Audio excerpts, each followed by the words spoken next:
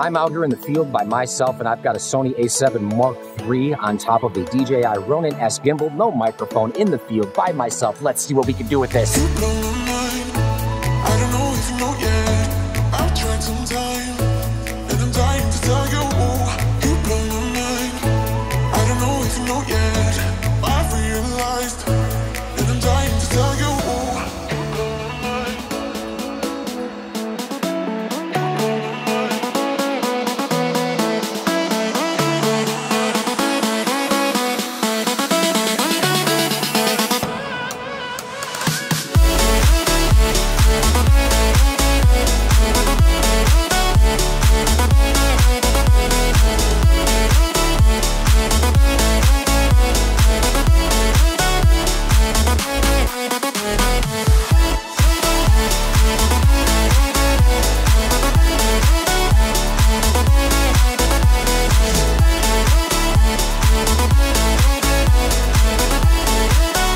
Y'all better know that this thing can do more than just stabilize some B-roll footage, right? It can help you film yourself, you know. Wait a minute, are you telling me that this thing can actually help you record yourself?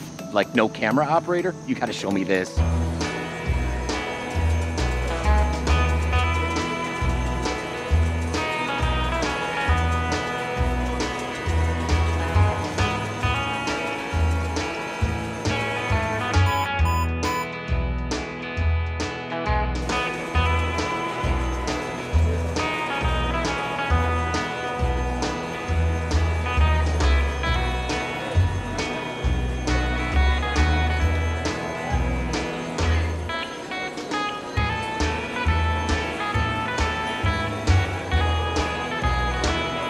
Royal Flush.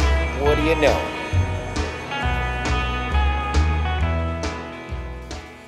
This is an absolutely phenomenal piece of equipment, and I have nothing but good things to say about it.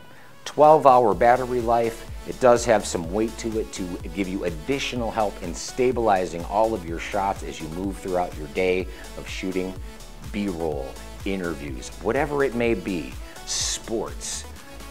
And the features that it has are just top of the line. I highly recommend this gimbal to any content creator, uh, whether you're just getting into it or if you've been in the industry for a long time and you're just waiting to make that decision on which gimbal to buy.